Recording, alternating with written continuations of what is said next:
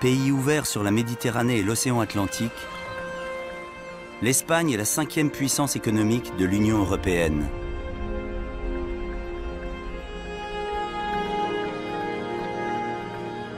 Pour beaucoup d'Européens, l'Espagne, c'est le pays du soleil et des vacances. Une image qui pourrait nous faire oublier que les Espagnols ont traversé une crise économique, sociale et institutionnelle qui a ébranlé le pays jusqu'à menacer la cohésion de ses territoires.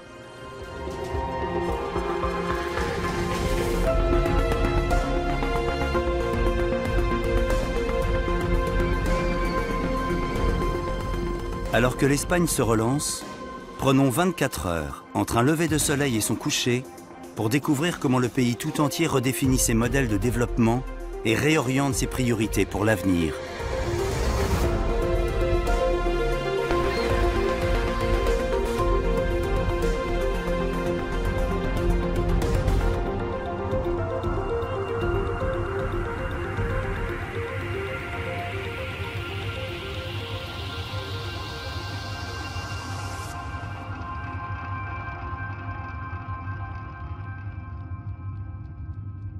Au moment où le soleil se lève sur l'Europe, la péninsule ibérique est encore plongée dans l'obscurité, à l'extrémité ouest du continent.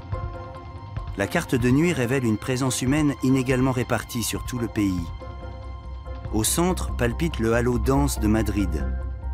Sur la côte méditerranéenne, les villes étoiles des industries phares et du tourisme littoral scintillent encore. Valence, Tarragone et enfin Barcelone.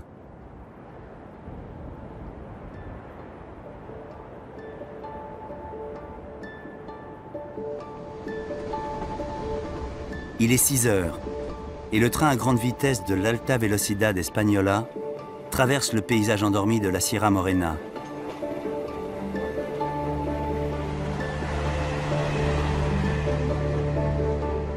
Parti à 5 heures ce matin de Séville, le train 357 file sur les 400 km de rails qui le conduiront à Madrid en moins de 2 heures.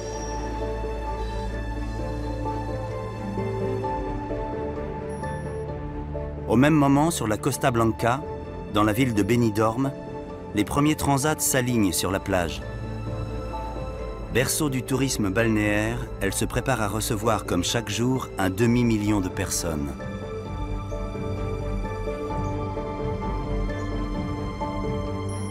« 600 km plus à l'ouest, près de la ville de Cordoue, les rayons du soleil ne vont pas tarder à toucher les 3000 miroirs de Gemma Solar. Une centrale solaire unique au monde. Les techniciens de nuit font leur dernière inspection avant la mise en route des générateurs. Il est 7 heures et le soleil se lève en Espagne. 900 km au nord-est, au cœur de la Navarre, San Fermin, la feria de Pamplune, a commencé depuis deux jours. C'est le plus grand rassemblement humain après le carnaval de Rio et l'Oktoberfest de Munich. Derrière les palissades ou penchés au balcon, les spectateurs guettent les coureurs qui s'échauffent car l'Encierro va bientôt commencer. Quatre grandes familles élèvent ces animaux depuis des générations et chaque année à la feria de Pamplune, on y amène les plus forts et les plus grands du troupeau. C'est ici qu'on reçoit les taureaux qui arrivent de leur lieu d'élevage. Ce sont des taureaux nobles. Il faut juste y aller doucement avec eux. Ils peuvent se mettre en colère. Ce sont des animaux sauvages. Ça fait un an qu'on travaille et qu'on les prépare pour qu'ils arrivent avec une bonne condition physique et qu'ils puissent répondre présent pendant le jeu. L'heure est arrivée pour les coureurs de se positionner sur la ligne de départ. Cette tradition qui date de l'époque médiévale permet aux taureaux de rejoindre l'arène en parcourant les rues pavées de la vieille ville sur une longueur de 900 mètres.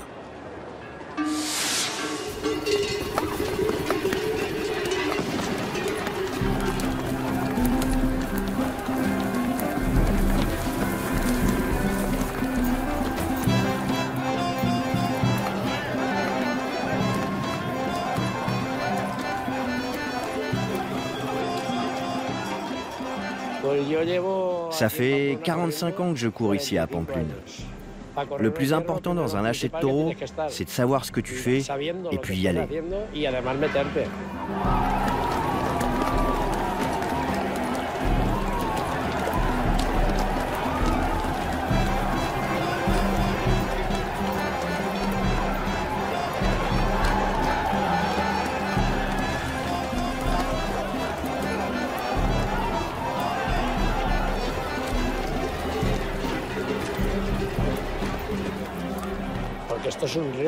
C'est un risque.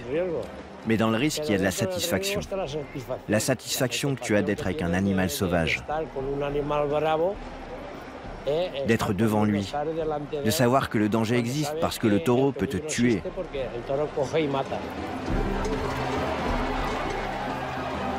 Ils disent tu es fou. Je ne sais pas si je suis fou. C'est plutôt la passion que j'ai pour le taureau.